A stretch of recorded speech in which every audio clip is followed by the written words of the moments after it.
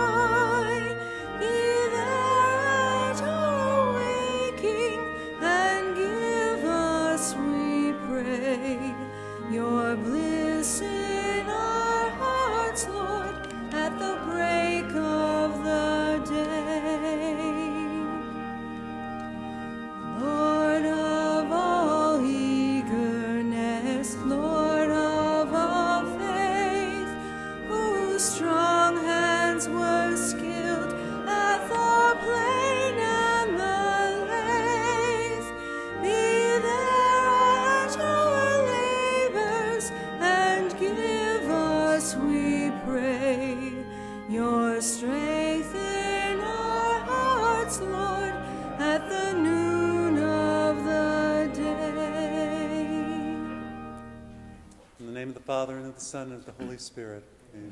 The grace of our Lord Jesus Christ, the love of God, and the communion of the Holy Spirit be with you all. My brothers and sisters, let us acknowledge our sins and so prepare ourselves to celebrate these sacred mysteries.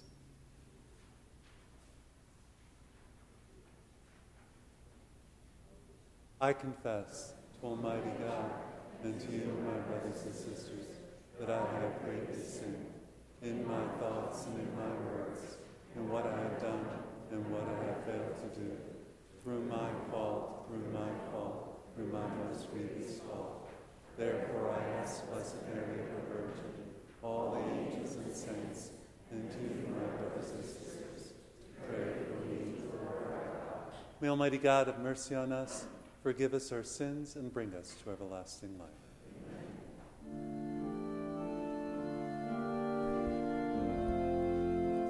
Here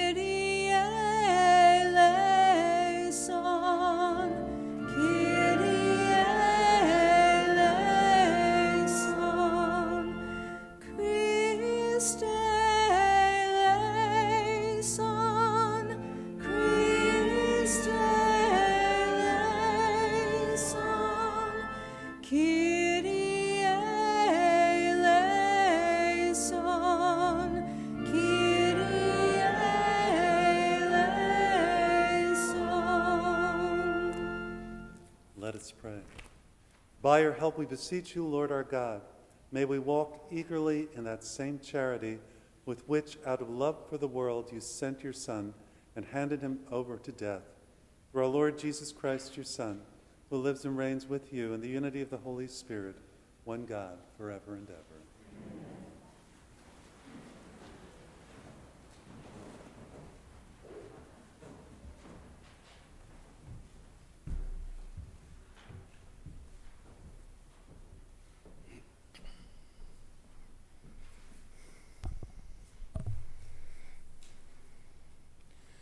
A reading from the book of the prophet Jeremiah. The days are coming, says the Lord, when I will make a new covenant with the house of Israel and the house of Judah. It will not be like the covenant I made with their families the day I took them by the hand and led them forth from the land of Egypt. They broke my covenant, and I had to show myself their master, says the Lord. But this is the covenant that I will make with the house of Israel after those days, says the Lord. I will place my law within them and write it upon their hearts. I will be their God, and they shall be my people. No longer will they have to need to teach their friends and relatives how to know the Lord. All, from least to greatest, shall know me, says the Lord. For I will forgive their evil doing and remember their sin no more. The word of the Lord.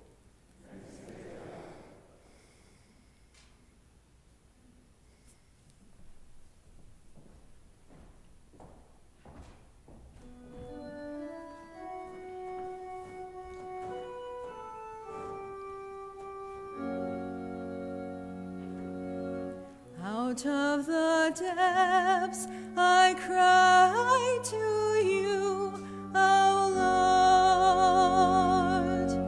Out of the depths I cry to you, O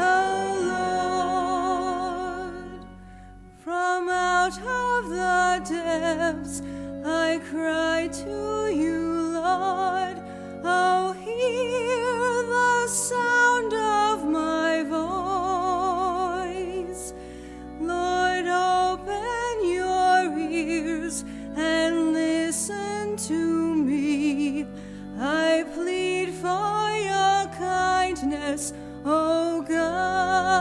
God.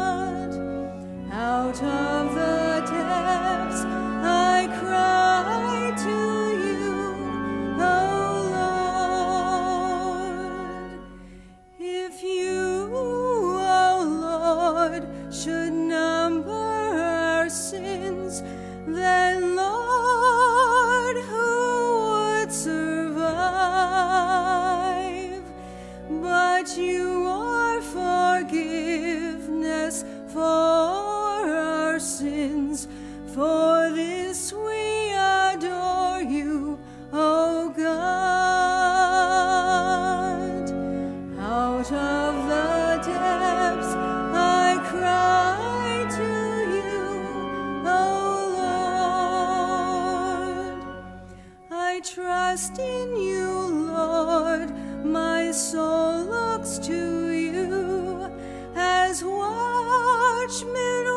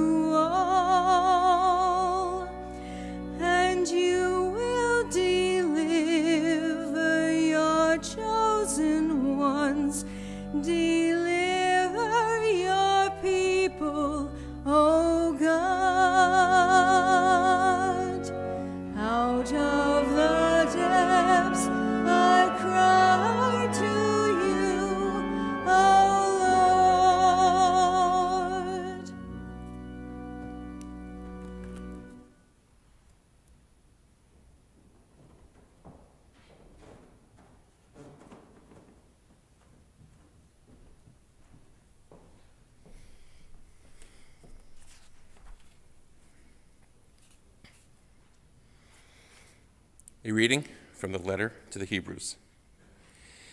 In the days when Christ Jesus was in the flesh, he offered prayers and supplications with loud cries and tears to the one who was able to save him from death.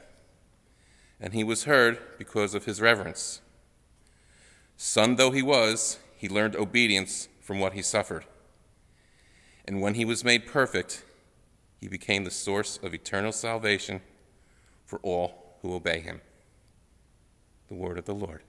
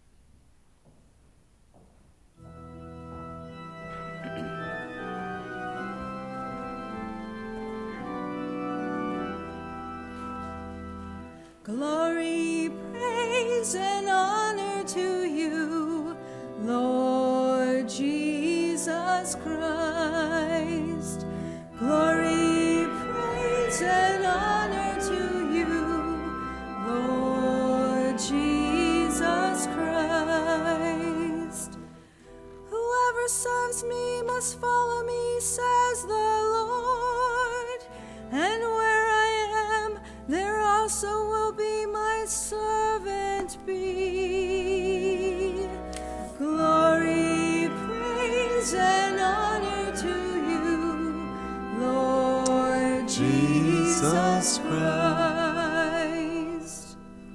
The Lord be with you. A reading from the Holy Gospel according to John. Some Greeks who had come to worship on the Passover feast came to Philip, who was at Bethsaida in Galilee, and asked him, Sir, we would like to see Jesus. Philip went and told Andrew, and Andrew and Philip went and told Jesus. Jesus answered them, The hour has come for the Son of Man to be glorified. Amen, amen, I say to you, unless a grain of wheat falls to the ground and dies, it remains just a grain of wheat.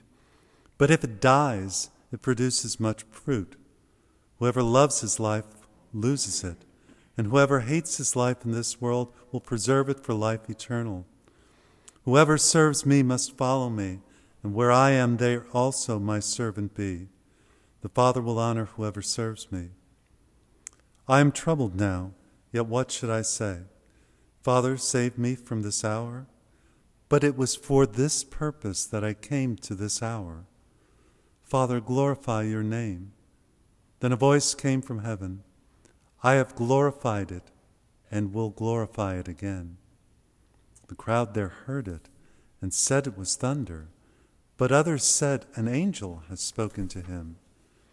Jesus answered and said, This voice did not come for my sake, but for yours. Now is the time of judgment on the world. Now the ruler of this world will be driven out. And when I am lifted up from the earth, I will draw everyone to myself. He said this, indicating the kind of death he would die. The Gospel of the Lord.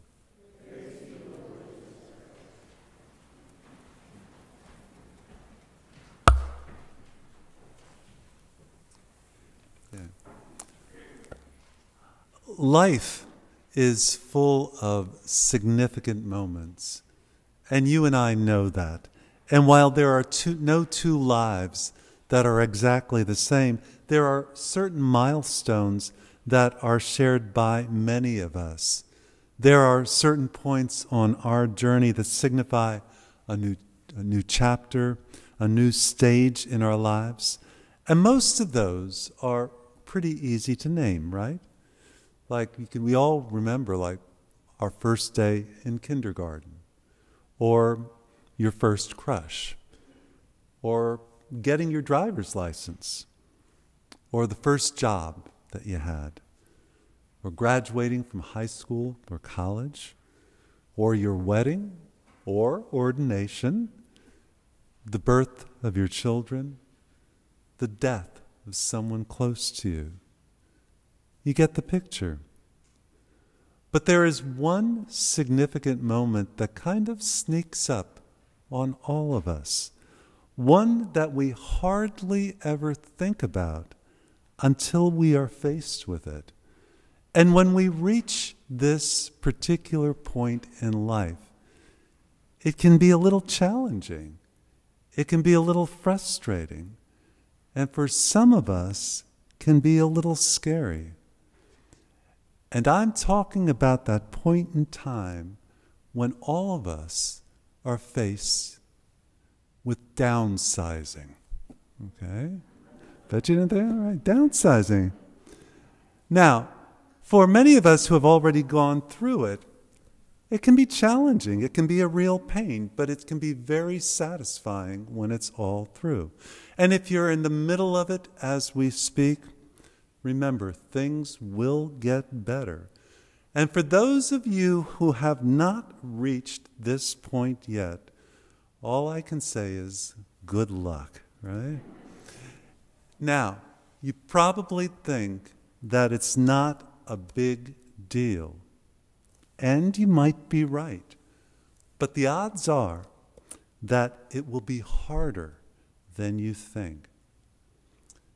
Downsizing is kind of an odd word, isn't it? Because I say that because downsizing, if you think about it, before we are able to downsize, what's the other end of it? We have to upsize, right?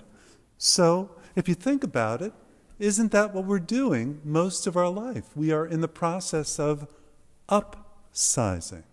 Just think about where you live, okay? So you go and you go from your room at your parents' place and maybe start out, go to college and maybe share a dorm with a couple of people and then maybe move into a tiny apartment and then maybe into a condo and that might follow with a townhouse or an inexpensive starter. And then of course if you have the means it hardly ever stops there. And then each new house becomes a little bigger than the one before. And of course with all of these various moves comes the accumulation of stuff, right? Furniture, clothes, vehicles, books, TVs, and such. How about tools and bikes and snowblowers and exercise equipment and patio furniture and kitchen gadgets? And the list can go on and on. And the truth be told, most of us accumulate all of this stuff and we're not even really aware about how much stuff we have because there's no way we could possibly use all the stuff that we have. You know? It just kind of happens. One minute we're living in a single bedroom in our parents' house, and the next moment, gosh, we got more junk than we know what to do with. Okay? Of course, it really isn't an issue. We don't even give it a second thought until that day comes when you have to move into a smaller place. And then that becomes a big issue. And most of us would probably claim that that's not a big issue.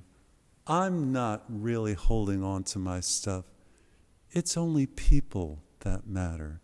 People are important. All of this other things, they're just things. They're just stuff. And you would be very right in saying that. But when the time comes to get rid of stuff, letting go of the things that maybe brought you joy at times, or memories, or whatever, it can be a very difficult decision. And in fact, some people completely avoid that issue by paying a little extra to have all of that extra stuff put into storage. All right? And that's where it sits until they die, and then the next generation has to figure out what to do with, get rid of what the previous generation was unwilling to do. Now, of course, we don't just accumulate material things as we live our life, do we? There's a lot of things that we accumulate in our lives, and some of them are not very good. We can accumulate resentment and prejudice and fears and our egos, our sense of entitlement, or maybe an unhealthy lack of self worth. How about selfishness or apathy or feelings of despair or helplessness? How about cynicism? Maybe even hatred. And again, you get the picture. These are the kind of things that can pile up over a lifetime. And this is all the kind of stuff that we really don't need. But it's more than that. Because the list, that small list that I just gave, in many ways is more dangerous than the accumulation of any number of material things. For these are feelings and attitudes and ways of looking at the world that can really weigh us down and truly keep us from being the person that God created us to be. Truly keep us from being that grain of wheat Amen, amen, I say to you, Unless a grain of wheat falls to the ground and dies, it remains just a grain of wheat. But if it dies, it produces much fruit.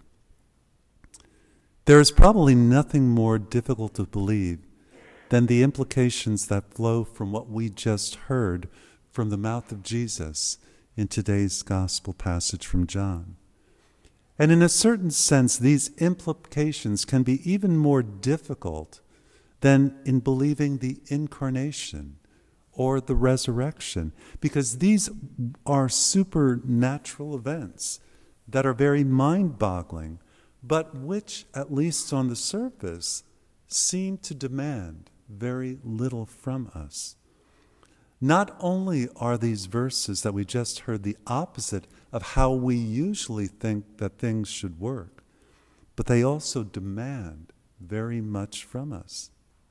They demand everything our whole selves. They demand that we lay down our lives for others.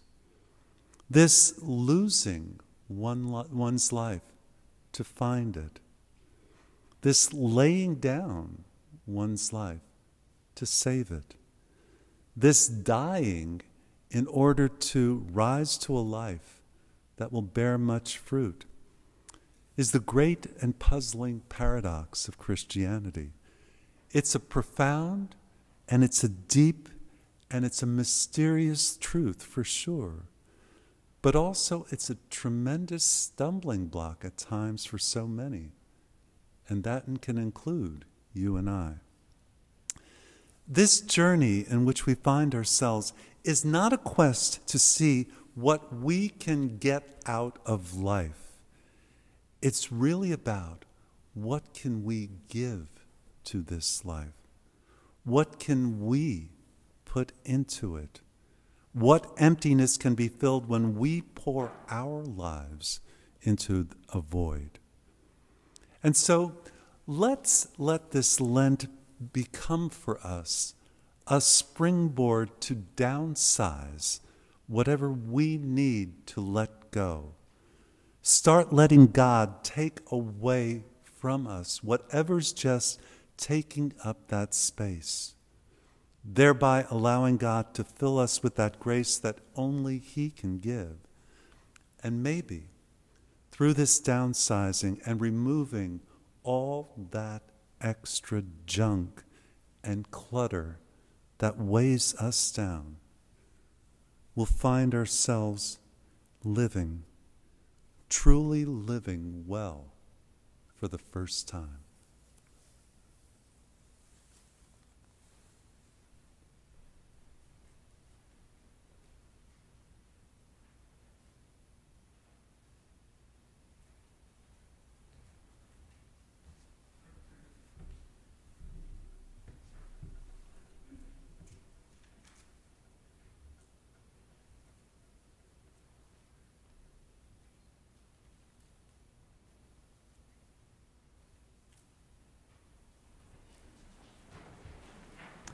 Together now, let us profess our faith. I believe in one God, the Father Almighty, maker of heaven and earth, of all things visible and invisible. I believe in one Lord Jesus Christ, the only begotten Son of God, born of the Father before all ages, God from God, light from light, true God from true God, begotten, not made, consubstantial with the Father. Through him all things were made for us men for our salvation. He came down from heaven, and by the Holy Spirit was incarnate of the Virgin Mary, and became man. For our sake he was crucified unto Pontius Pilate. He suffered death and was buried, and rose again on the third day, in accordance with the Scriptures. He ascended into heaven, and is seated at the right hand of the Father. He will come again in glory to judge the living and the dead, and his kingdom will have no end. I believe in the Holy Spirit, the Lord, the giver of life, who proceeds from the Father and the Son, who with the Father and the Son is adored and glorified, who has spoken through the prophets. I believe in one holy Catholic and Apostolic Church. I confess one baptism for the forgiveness of sins, and I look forward to the resurrection of the dead and the life of the world to come. Amen. With the hope that comes from the death and resurrection of Jesus, we offer our prayers to our Heavenly Father. Our response to each petition will be, Lord, have mercy. And so we pray. That the members of the church may grow in faith and live more fully in God's love, we pray to the Lord. Lord, hear Have us. mercy. That our government leaders may be blessed with the strength and wisdom they need to carry out their public service, we pray to the Lord. Lord, have mercy. That as Jesus laid down his life for us, so we may find strength to sacrifice ourselves for others, especially the poor, the weak, the unborn, and the unwanted. We pray to the Lord. Lord, have mercy. For those who are preparing to enter the church in full communion at the Easter Vigil, we pray to the Lord. Lord, have mercy.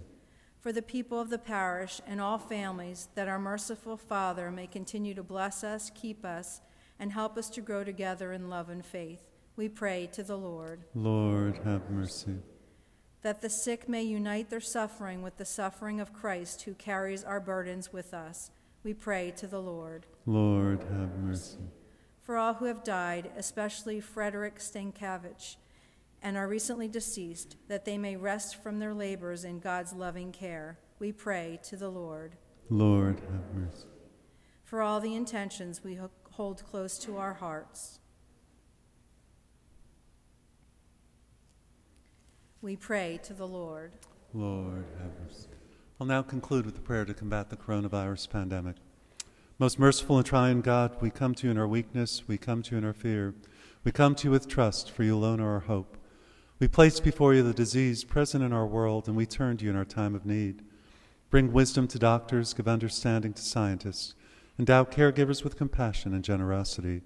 Bring healing to those who are ill, protect those who are most at risk, give comfort to those who have lost a loved one, welcome those who have died into your eternal home. Stabilize our communities, unite us in our compassion, remove all fear from our hearts, fill us with confidence in your care. Jesus, I trust in you. Jesus, I trust in you. Jesus, I trust in you.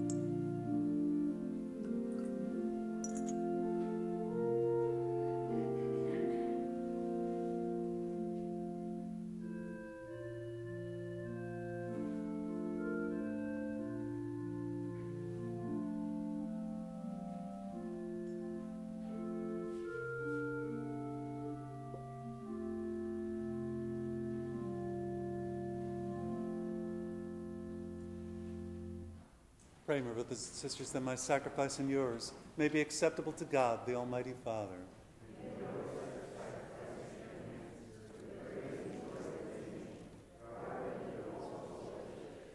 Hear us, Almighty God, and have, having instilled in your servants the teachings of the Christian faith, graciously purify them by the working of this sacrifice through Christ our Lord. The Lord be with you. Lift up your hearts. Let us give thanks to the Lord our God. It is truly right and just, our duty and our salvation, always and everywhere, to give you thanks, Lord, Holy Father, Almighty Eternal God, through Christ our Lord. For as true man, he wept for Lazarus, his friend, and as eternal God raised him from the tomb. Just as taking pity on the human race, he leads us by sacred mysteries to new life. Through him, the hosts of angels adore your majesty and rejoices in your presence forever.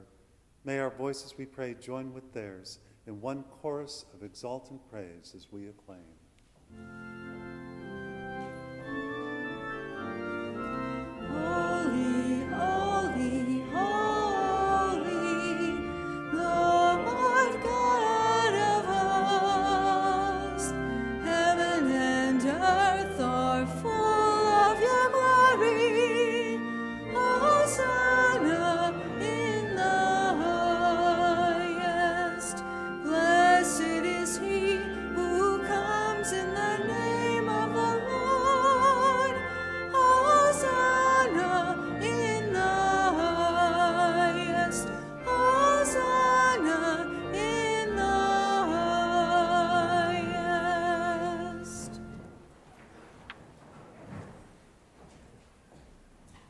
Are indeed holy, O Lord, the fount of all holiness. Make holy, therefore, these gifts, we pray, by sending down your Spirit upon them like the dewfall, so that they may become for us the body and blood of our Lord Jesus Christ. At the time he was betrayed and entered willingly into his passion, he took bread and giving thanks broke it. He gave it to his disciples, saying, Take this, all of you, and eat of it, for this is my body, which will be given up for you.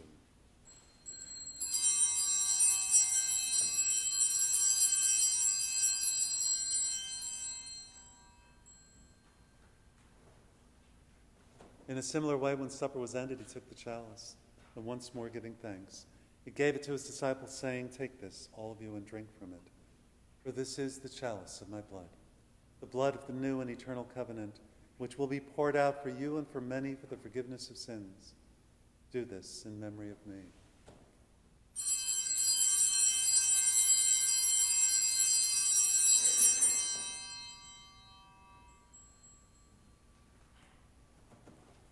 The mystery of faith.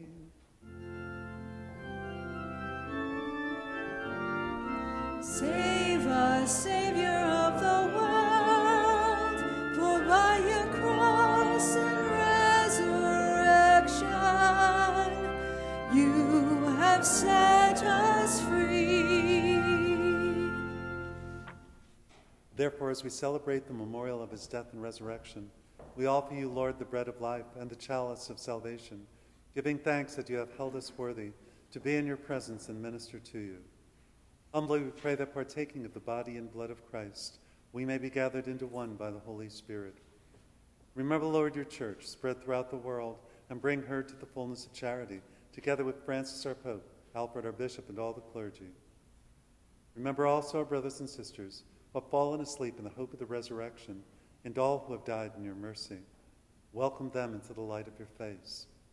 Have mercy on us all, we pray, that with the Blessed Virgin Mary, Mother of God, the blessed Joseph, her spouse, with the blessed apostles, and all the saints who have pleased you throughout the ages, we may merit to be co heirs to eternal life and may praise and glorify you through your Son, Jesus Christ.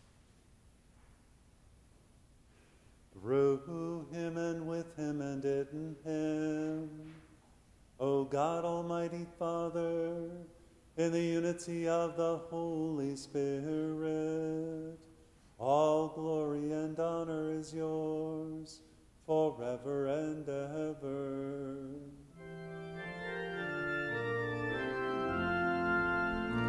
Amen,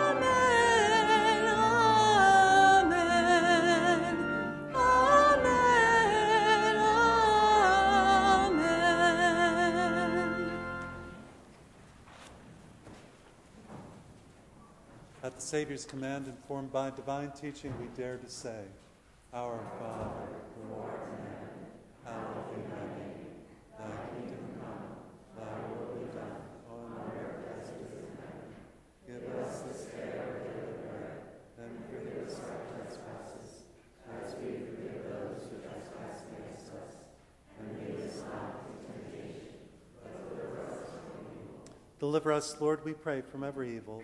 Graciously grant peace in our days, that by the help of your mercy we may be always free from sin and safe from all distress, as we await the blessed hope and the coming of our Savior, Jesus Christ.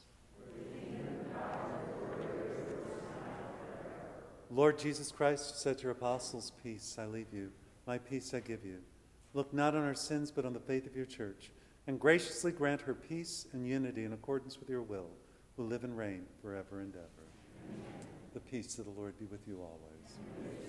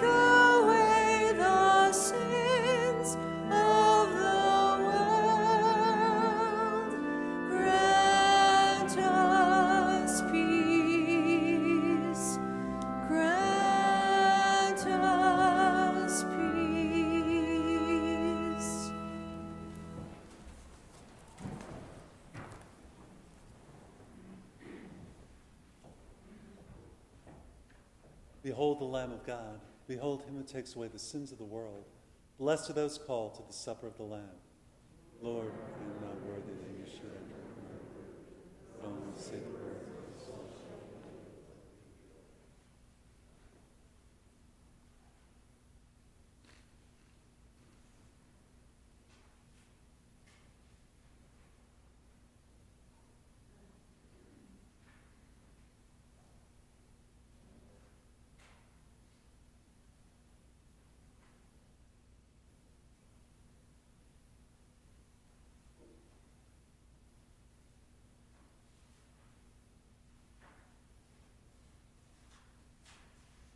For those who are unable to be with us today, and those who are unable to receive the Eucharist at this time, I'll now pray the prayer of spiritual communion. My Jesus, I believe that you are present in the most holy sacrament, and I love you above all things, and I desire to receive you into my soul. Since I cannot at this moment receive you sacramentally, come at least spiritually into my heart. I embrace you as if you were already there, and I, and I unite myself wholly to you. Never permit me to be separated from you. Amen.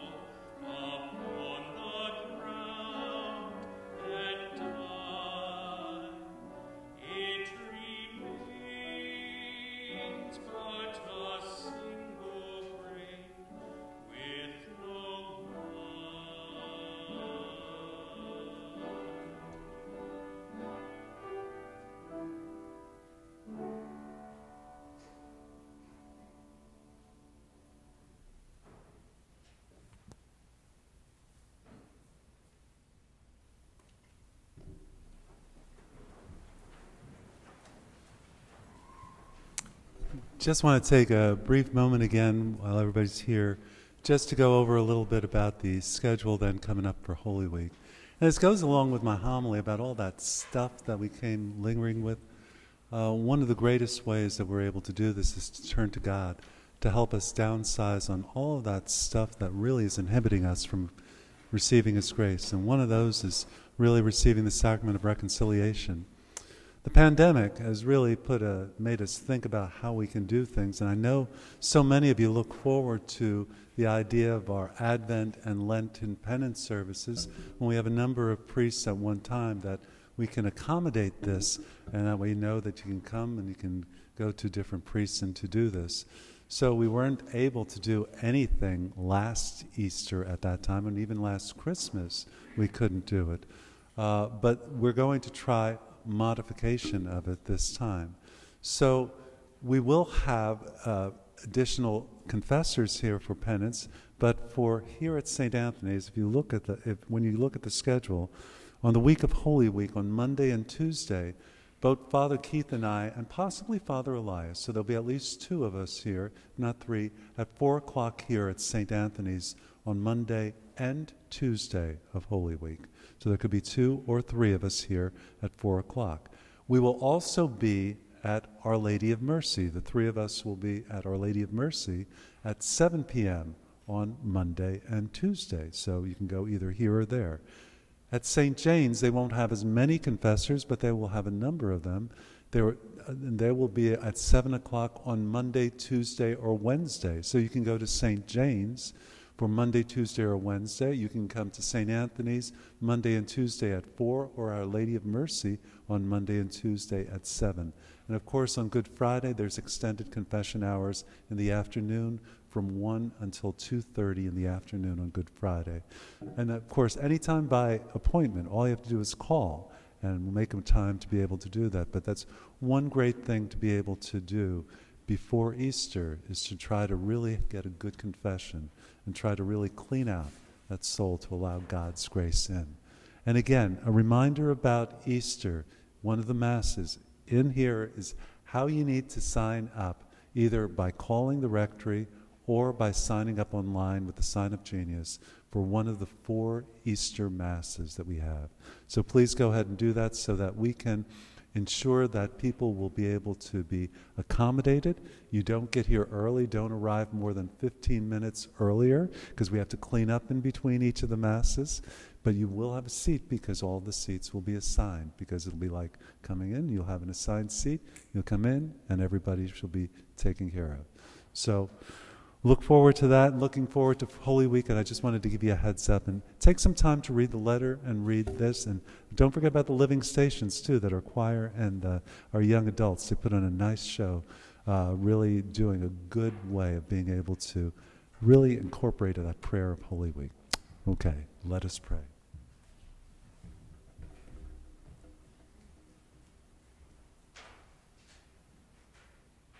We pray, Almighty God, that we may always be counted among the members of Christ, in whose body and blood we have communion, who lives and reigns forever and ever. Amen.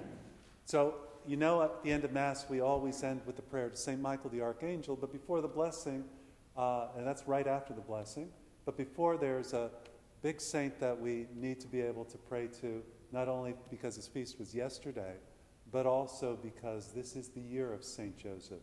And so I want to conclude today's Mass, which comes the day after his official feast day, to ask St. Joseph's help and offer our prayer. To you, O blessed St. Joseph, do we come with our afflictions, and having implored the help of your most holy spouse, we confidently invoke your patronage also. Through that charity which bound you to the Immaculate Virgin Mary of God, and through the paternal love which you have embraced the child Jesus, we humbly beg you graciously to regard the inheritance which Jesus Christ has purchased by his blood, and with your power and strength to aid us in our necessities. O most one, watchful guardian of the Holy Family, defend the chosen children of Jesus Christ. O most loving Father, ward off from us every contagion of error and corrupting influence. O our most mighty protector, be kind to us and from heaven assist us in our struggle towards the power of darkness. As once you rescued the child Jesus from deadly peril, so now protect God's holy church from the snares of the enemy and from all adversity. Shield, too, each one of us by your constant protection, so that supported by your example and by your aid, we may be able to live piously, to die in holiness, and obtain eternal happiness in heaven. Amen. The Lord be with you.